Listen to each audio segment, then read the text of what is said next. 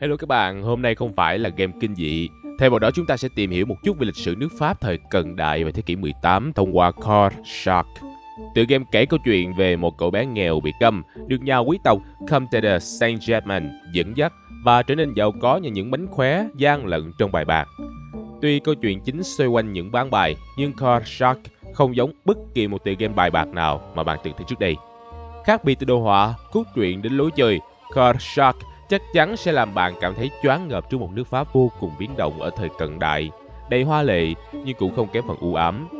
Trước khi bắt đầu video, anh em đừng quên nhấn like, ấn vào nút đăng ký cũng như nút chuông thông báo để không bỏ lỡ những video khác của bọn mình nha.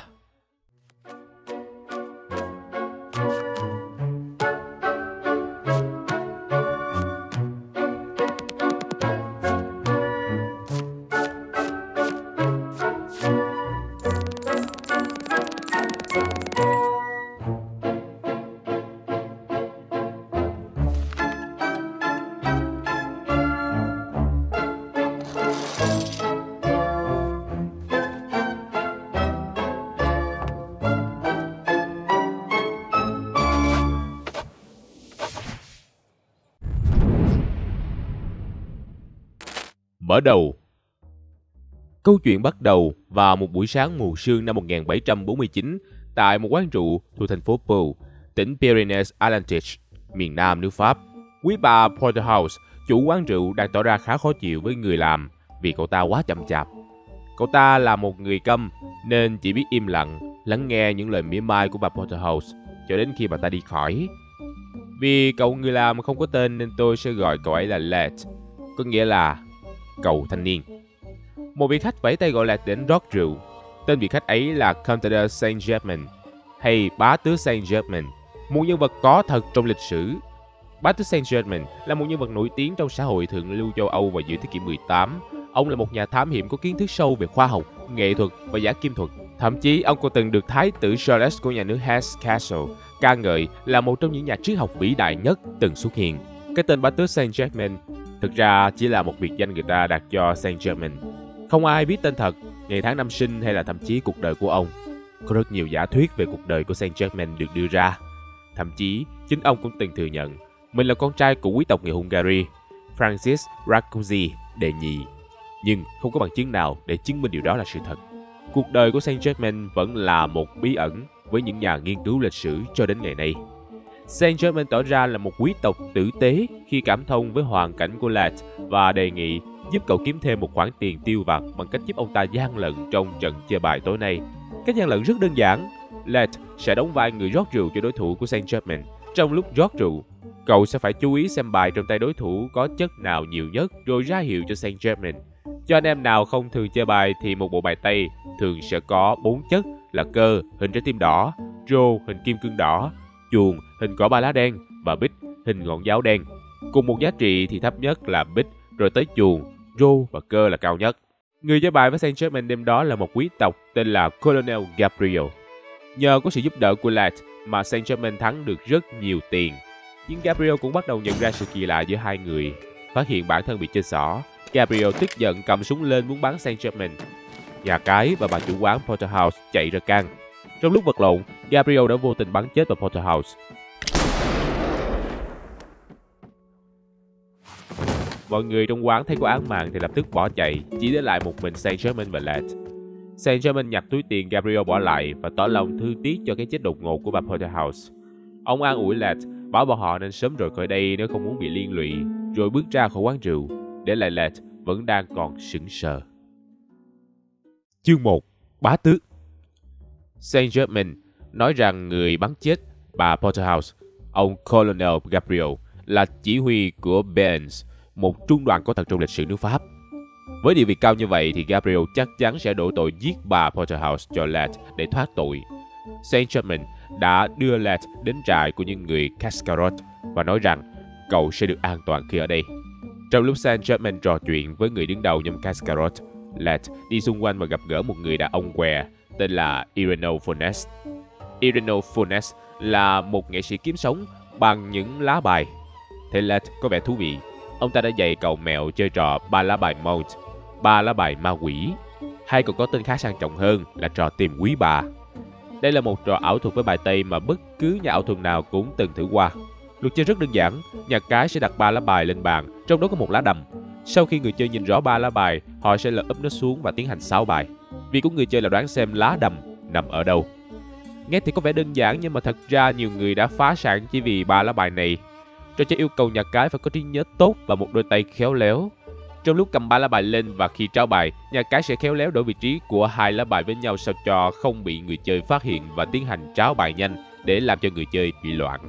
Vậy nên, bí quyết để không bị lừa trong trò này đó chính là chú ý từng cử động tay của nhà cái và ghi nhớ thật kỹ vị trí của lá đầm. Sau khi học được mẹo của trò tìm quý bà, Let gặp chủ khu trại của người Cascarot và được ông ta dạy thêm một trò ảo thuật nhỏ với những lá bài. Đầu tiên ông ta bảo Let hãy chọn một lá trong bộ bài, ghi nhớ nó và không để ông ta biết. Sau đó, Let sẽ đặt lá bài đó lên đầu bộ bài. Ông ta sẽ sáo bài và lấy ra đúng lá bài mà Let đã chọn trong 57 lá bài. Mánh của trò này là trong lần sào bài thứ hai, hãy lén đánh dấu lá bài mà người chơi đã chọn bằng cách đẩy mép lá bài nằm trước nó nhô ra một tí so với toàn bộ bài. Đến lúc dàn bài thì chỉ cần dàn ngay chỗ đánh dấu là có thể đưa được lá bài người chơi đã chọn lên đầu. Let học rất nhanh và được chủ trại tán thưởng. Ông ta hứa sẽ bảo vệ Let trong khả năng của mình. Tạm biệt chủ trại. Let ra ngoài tìm Saint Germain và được ông giải thích thêm về sự tồn tại của khu trại này. Đây thực ra là nơi sinh sống của một bộ phận người Cascarot trên nước Pháp. Họ cưu mang những người già, người không có khả năng lao động mà kiếm tiền bằng cách đánh bạc. Số tiền mọi người kiếm được sẽ dùng vào việc ăn uống ngủ nghỉ của các thành viên trong trại. Trở thành một thành viên của khu trại là đồng nghĩa với việc Let phải học thêm nhiều chiêu trò bài bạc để kiếm tiền. Cậu phải đảm bảo rằng khi chia bài cho bốn tụ Saint Germain luôn phải nhận được những lá bài có giá trị lớn nhất như bồi đầm và áp. Kỹ thuật này tương đối phức tạp và cần phải luyện tập nhiều. Nhưng về cơ bản ta có thể hiểu nó là phiên bản nâng cấp của kỹ thuật xào bài ở trên kết hợp với một vài mẹo tính toán đơn giản. Tuy Let tiếp thu khá nhanh, nhưng vì cậu là một người mới nên chẳng mấy chốc mà Saint Germain và Let đã bị phát hiện gian lận. Tuy nhiên, hai quý ông chơi cùng họ lại không hề tiếc giận, ngược lại cả hai còn đánh giá cao khả năng của Let và Saint Germain.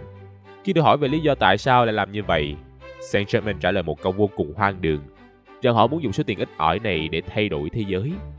Càng chơi nhiều, phi vụ lừa đảo của Lat và Saint Germain càng trót lọt. Trong một lần đến chơi bài với nữ nam tước Beruga, Lat đã nghe họ nhắc đến một bí mật của nhà vua tên là 12 chai sữa, The 12 Bottles of Milk. Nam tước Beruga nói rằng cô không thể tiết lộ chuyện này, nhưng nếu Saint Germain muốn biết, thì ông có thể đến gặp bạn của cô là cựu ngự lâm quân Aramis để hỏi thêm.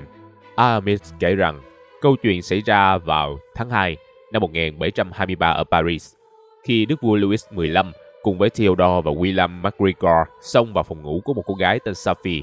Vua Louis XV đã ôm cô gái đó khóc trước sự chứng kiến của cả hai cẩn thận. Nhưng kể đến đó thì Aramis đã rút kiếm từ vấn để giữ kín bí mật. Aramis qua đời, Let và Saint Germain không còn cách nào khác ngoài việc tìm Theodore để hỏi thêm về câu chuyện. Nhưng nữ nam tước Beruka lại mời họ đến dinh thự của bà để chơi bài. Không thể từ chối nên cả hai đành làm theo. Đến nơi, họ không gặp được nữ nam tước Beruga mà chạm mặt Simizuza Simikuba hay gọi ngắn gọn là Citaren, tên cướp và sát nhân nổi tiếng trong lịch sử đảo Ruyon. Citaren nói rằng MacGregor đã thuê gã đến để giết Saint Germain và chỉ xuống vào đầu ông. Nhưng Saint Germain đã dễ dàng đánh lạc hướng Citroen và nói gã hãy chơi với ông một ván bài cuối cùng. Nhờ có sự phối hợp ăn ý của Lat, Saint Germain đã kiếm được một mớ từ gã giết người khờ khạo và thành công đổ tội gian lận cho đồng bọn của gã. Trong lúc Citroen cãi nhau với đồng bọn, Lat và Saint Germain đã thành công trốn thoát khỏi tay tử thần.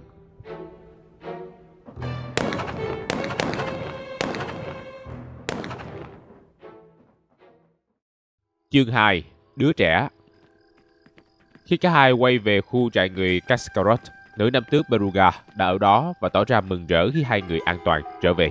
Bà ngỏ lời muốn có không gian riêng để trò chuyện với Lad. Khi Saint Germain và chủ trại đi mất, nữ nam tước Beruga tháo tóc giả ra và tiết lộ thân phận thật sự là Irenel, người đã dạy Lad trò chơi tìm quý bà khi cậu mới vào khu trại. Irenel nói rằng ông ta là thành viên của một nhóm nhỏ vô cùng quyền lực được thành lập nhằm mục đích ủng hộ lý tưởng lật đổ chế độ quân chủ của Saint Germain. Saint Germain bước ra chấm dứt cuộc trò chuyện. Ông báo với Led rằng hiện Theodore đang sống trên đảo Corsica và giờ họ phải đến đó để hỏi thăm thêm tin tức về 12 chai sữa. Cả hai tức tốc lên đường. Saint Germain đã dạy thêm cho Led một số bánh khóe khác trong bài bạc, chẳng hạn như dùng một vật phản chiếu để soi bài đối phương trong lúc chia bài. Cách tráo bộ bài đang dùng với một bộ bài khác đã được đánh dấu. Những mèo này nghe thì dễ, nhưng khó ở chỗ Led phải nhớ được thứ tự những lá bài đã chia và phải khéo léo để không bị đối thủ phát hiện. Vậy nên cậu phải tập đi tập lại nhiều lần cho đến khi thành thạo. Lên đến đảo Corsica, Let và Saint Germain được Theodore chào đón bằng một ván bài và hứa sẽ kể thêm cho họ về bí mật của 12 chai sữa nếu họ thắng lão. Nhưng khi thua ván bài, Theodore lập tức trở mặt, rút kiếm và yêu cầu Let phải đấu với mình. Hiển nhiên là Let không thể đánh thắng Theodore, vậy nên lão ra lệnh đuổi Let và Saint Germain ra khỏi đảo. Họ đến tìm Clement Bailey, một họa sĩ người Pháp đang thiếu nợ. Và sau một ván bài, Bailey đã tiết lộ cho họ về cô gái tên Safi trong câu chuyện 12 chai sữa. Tên đầy đủ của cô gái đó là Sophie Daubigny, người vợ bí mật của vua Louis XV và đột ngột biến mất vào năm 1723. Chào tạm biệt Clement Bailey, cả hai đến tìm Deborah Churchill, người được cho là có quan hệ với Sophie, để hỏi thêm tin tức. Dù bị hỏi, nhưng Churchill vẫn quyết định không nói và cầm chân hai người cho đến khi Julie Daubigny xuất hiện. Theo lịch sử thì Julie Daubigny là một ca sĩ opera, nhưng bà cũng là một kiếm sĩ nổi tiếng có thể đấu ngang cơ với đàn ông. Ngoài ra bà còn là mẹ của Sophie Daubigny. Churchill nói rằng cô đã được Jolie nhờ đến chăm sóc cho cựu ngự lâm quân Aramis để moi thêm thông tin về sự mất tích của Sophie. Ấy thế mà Lett và Saint Germain lại xuất hiện khiến Aramis tự sát, làm hỏng kế hoạch của cô. Nhận ra mọi người đều có cùng mục đích, chồng của Churchill là hiệp sĩ Saint George đã quyết định dạy Lett kiếm thuật để có thể đánh thắng Theodore và moi thêm thông tin từ cả. Sau khi đã thành thạo kỹ năng dùng kiếm, Lett quay lại đảo Corsica tái chiến với Theodore.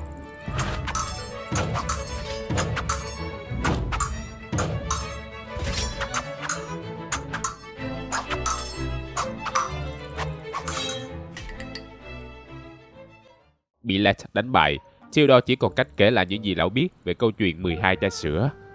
Vào đêm tháng 2, cách đây 20 năm, khi vua Louis XV đến thăm Sophie và nhận ra cô đã tắt thở, một người tên S.W. Ednes đã bế một bé trai ra và nói đây là con trai của vua Louis XV.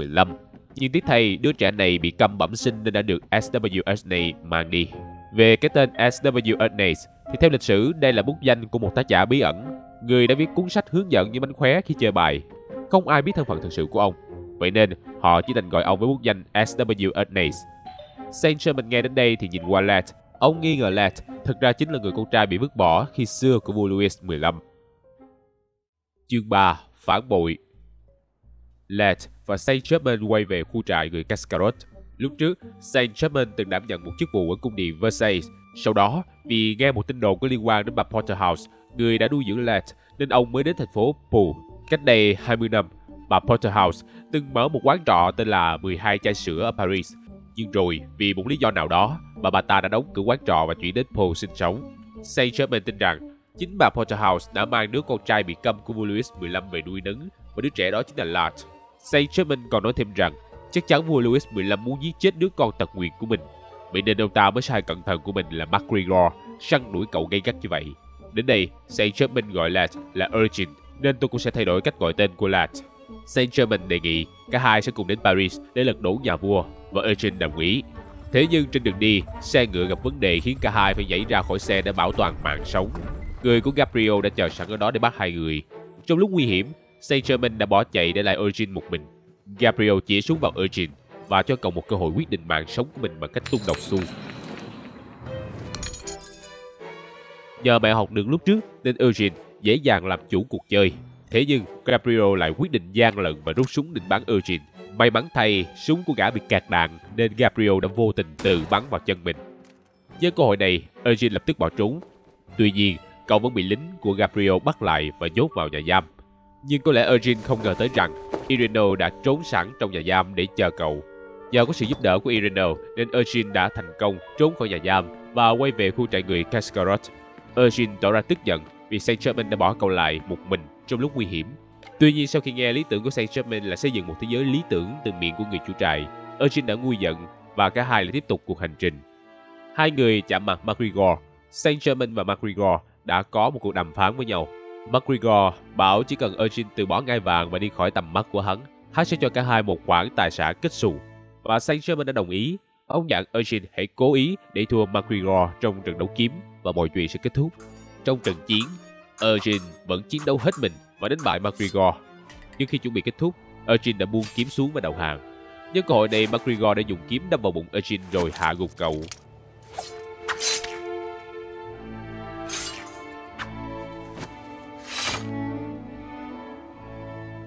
Thấy Eugene nằm trên nền tuyết, McGregor mỉa mai rằng cậu lẽ ra không nên tin Saint Germain vì ông ta thật ra cũng chỉ là một kẻ phản bội giống hắn mà thôi.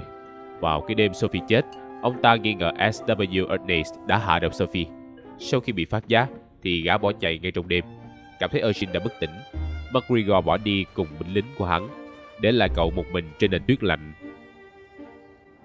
Trong cơn mê man, Eugene cảm thấy mình lạc vào thế giới của người chết và có một ván bài với tử thần. Nhờ chiến thắng ván bài nên tử thần đã để cậu đi. Eugene tỉnh lại trên giường với bà Julie ở bên cạnh. Chính bà đã cứu Eugene và trị thương cho cậu. Khi Eugene hồi phục hơn, Julie đã nói cho cậu biết nơi Saint Germain đang sống và dạy cậu những mánh để đánh bại ông ta trong ván bài. Để tránh bị Saint Germain nghi ngờ, Eugene đã cải trang thành một quý cô và hạ gục ông ta trong ván bài. Khi Saint Germain thua nhẵn túi và bỏ đi, Eugene lập tức đuổi theo và biết được Saint Germain đã vô tình phản bội cậu vì tiền. Cả hai đã có một trận đấu kiếm nảy lửa và hiển nhiên Eugene là người thắng. Saint Germain nói hãy để ông dạy cậu bánh khóe cuối cùng trước khi cậu dùng lưỡi kiếm sắc bén đó kết thúc cuộc đời của ông. Sau khi bài học cuối cùng của Saint Germain kết thúc, vua trộm vốn ngồi bên cạnh từ đầu đến cuối đột nhiên lên tiếng và tiết lộ thân phận thực sự của mình. Ông ta nói rằng mình là Irinel, hay nói đúng hơn là S.W. Ernest, người đã mất tích bấy lâu nay. 20 năm trước, ông ta và MacGregor đã được các quý tộc thuê nhằm để bắt đến nhất cử nhất động của nhà vua. Theo kế hoạch thì cả hai sẽ chuốt thuốc Sophie để cô giả chết rồi đưa cô đến tu viện sống ẩn cư. Tuy nhiên McGregor đã tráo nó thành thuốc độc và giết chết Sophie. Đứa trẻ mà Sophie sinh ra thật ra đã chết trong đêm đó. Sau khi S.W. Ernest ôm xác của đứa trẻ chạy trốn khỏi sự truy đuổi của nhà vua, ông ta đã gặp bà Porterhouse. Ernest dặn bà Porterhouse hãy bán nhà trọ 12 chai sữa, rồi đến cô di viện Misericord nhận nuôi một đứa trẻ câm để giả làm con của nhà vua. Hóa ra Eugene thì không phải là con của nhà vua mà chỉ là một đứa trẻ mồ côi bình thường. Và cả cuộc đời của cậu lẫn Saint Germain đều được Ernest sắp đặt để lừa McGregor vào trong. Ernest nói rằng Eugene hãy đi theo ông ta tham gia buổi tiệc của nhà vua vào ngày mai và mọi chuyện sẽ kết thúc. Nhưng lần này thứ họ chơi không phải là bài mà là cảm xúc của nhà vua và McGregor. Ngày hôm sau, Ernest cải trang thành nữ nam tước Beruga cùng hai người Eugene và Saint Urban đến cung điện Versailles. Cả ba đã có một ván bài với nhà vua như dự tính và hiển nhiên họ đã thắng. Khi nghe nam tước Beruga nhắc đến việc Urchin bị câm, vua Louis XV bắt đầu nảy sinh nghi ngờ rằng cậu là đứa con đã bị ông ta vứt bỏ. Còn gã MacGregor đứng hầu bên cạnh thì tức điên lên. Trong lúc lỡ miệng, gã đã tiết lộ mình chính là người hại độc Sophie và bị nhà vua tống giam. Beruga cũng đã tiết lộ thân phận của mình là Ernest cho nhà vua biết. Nhà vua sau đó đã có một cuộc nói chuyện riêng với Eugene để làm rõ thân phận của cậu. Khi được hỏi về việc có phải là con trai của nhà vua đã chết rồi không, Eugene gật đầu và được nhà vua khen ngợi về sự trung thực. Ông ta nói có lẽ McGregor làm vậy là vì em trai của ông sai khiến. Bởi vì bọn chúng cảm thấy Sophie là một mối nguy cần loại bỏ. Nhà vua gọi cho Saint Germain và Ernest vào phòng để chơi một ván bài cuối cùng. Tùy thuộc vào việc ai là người chiến thắng mà câu chuyện sẽ kết thúc với những cách khác nhau. Các kết thúc của trò chơi Nếu Eugene gian lận để mình thắng, Louis 15 sẽ nghi ngờ cậu gian lận và ra lệnh bắt giam cậu. Saint Germain đã quyết định đứng ra nhận tội thay cho Eugene và bị đẩy đi nơi khác. Sau đó Ernest tiếp quản vị trí cận vệ của nhà vua, còn Eugene quay về tiếp quản quán trụ của bà Porterhouse ở thành phố Poole. Nếu gian lận cho Saint Germain thắng, ông ta sẽ đứng lên chỉ trích chế độ quân chủ chuyên chế của vua Louis XV và bị bắt đi. Từ đó Eugene không còn nghe bất kỳ tin tức nào về Saint Germain nữa. Có người nói ông ta đã chết ở Bastille, có người bảo ông ta đã kết hôn với một nữ công tước. Lại có tin đồn rằng ông ta đang tìm kiếm bí quyết biến đá thành vàng và thuật trường sinh bất tử. Ernest thì biến mất. Có lẽ anh ta đã đến Mỹ sinh sống, còn Eugene thì quay về quán rượu của bà Porterhouse và sống cuộc sống của một người dân bình thường. Nếu gian lận để nhà vua chiến thắng, Saint Germain sẽ tức giận đứng lên chỉ trích nhà vua và bị binh lính giải đi. Eugene quay về quán rượu của bà Porterhouse sinh sống. Thi thoảng thì Ernest sẽ ghé thăm và khuyên cậu hãy đi đâu đó để mở mang hiểu biết về thế giới bên ngoài. Nếu gian lận để Ernest thắng, cả ba sẽ bị nhà vua đuổi ra ngoài. Ernest biến mất không lâu sau đó, và Eugene thì quay về tiếp quản quán rượu của bà Porterhouse. Saint Germain thường ghé thăm cậu cho đến một ngày ông ta bị giết trong một trận đấu kiếm. Nếu bị bắt trong lúc gian lận, cả ba sẽ bị nhà vua đầy đến Guyana. Saint Germain bị sức khỏe yếu nên qua đời không lâu sau đó. Tên này trốn thoát vào rừng và không ai biết sau đó anh ta thế nào. Còn Urgent, cậu được thả sau 15 năm và quay về tiếp quản quán rượu của bà Porterhouse rồi sống hết quãng đời còn lại ở đó. Chắc chắn sẽ có nhiều người cảm thấy thất vọng về cái kết của Core Shark vì không hề cao trào như họ đã nghĩ. Tuy nhiên đối với bọn tôi thì Core Shark đã làm rất là tốt việc của mình là khắc họa cho chúng ta một chính quyền quân chủ chuyên chế hoa lệ nhưng là hoa cho người giàu và lệ cho người nghèo. Đây không phải là câu chuyện về một người anh hùng giải cứu thế giới bằng cách bài bạc, mà là câu chuyện về cả một thế hệ trong lịch sử trước thời kỳ cách mạng Pháp, nơi mà chính quyền đấu đá nhau vì lợi ích cá nhân và những quý tộc sa đọa trên xương máu của người dân. Tôi không nghĩ vua Louis XV, Saint-Germain hay Ernest là người tốt, vì những gì họ làm là đều có lý do của riêng mình. Willis 15 thì quá đam mê quyền lực, Saint-Germain thì cố gắng tạo ra một xã hội lý tưởng bằng một cách hết sức viễn vông. Còn Ernest là một chuyện chẳng qua vì để trả thù. Còn Eugene, cậu ta như đại diện của những người dân khổ cực lúc bấy giờ. Vốn ngờ cậu ta là người giữ thế chủ động nhưng thật ra cũng chỉ là con tốt trên ván cờ của những người còn lại. Một xã hội như vậy nên kết thúc. Và đó cũng là lý do trò chơi luôn kết thúc bằng câu ngày 12 tháng 8 năm 1789, xã hội cũ chính thức chấm dứt, nhường đường cho một chế độ tươi sáng hơn cho người dân. Còn các bạn nghĩ sao về video lần này? Nếu thấy hay thì đừng quên để lại một bình luận cho mọi tôi biết với nha. Hẹn gặp lại các bạn ở những video sau.